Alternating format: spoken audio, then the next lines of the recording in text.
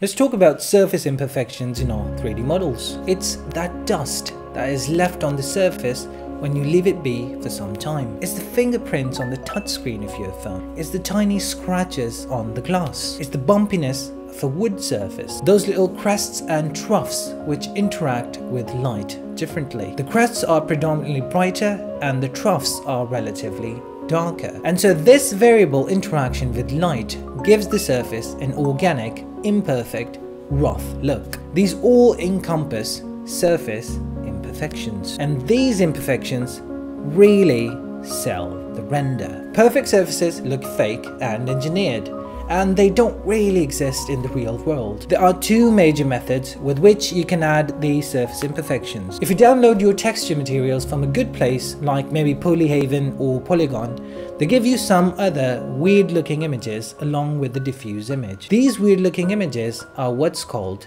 maps and these images effectively map certain properties of the material. We've covered these properties in the relevant sections, but the one that we are concerned with today are roughness maps. These are black, white, grey images which tell the render engine the varying degree of roughness of different areas of the material as black and white. So the black areas will be less rough or shiny and the whiter areas will be rougher. And this is how the roughness map is sort of mapped over the diffuse texture. We plug this roughness map in the roughness channel of our shader and we can go a step further to tighten the areas of transition between full roughness and zero roughness. There's another clever implication of roughness map and that is, as previously mentioned, to add fingerprints and scratches. These are standalone images and are just referred to as surface imperfections. You can simply plug these in into the roughness channel of the principled shader on the material you want to show these features on and you have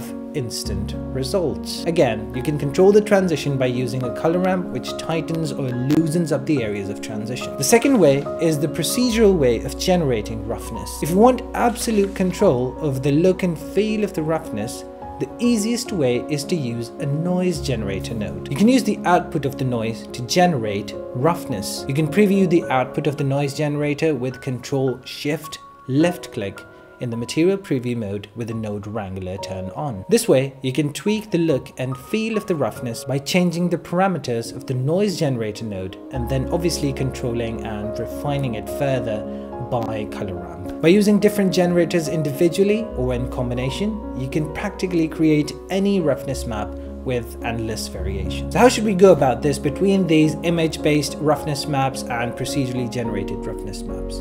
Well, what I personally do and what we can do is, if we need a specific kind of roughness like scratches or fingerprints, it's convenient to use roughness maps which are the images. And if we need to throw in some generic roughness like rust on a piece of metal, it's easier to just do it the procedural way. Alright, this has been it for this part of the series. I will see you soon.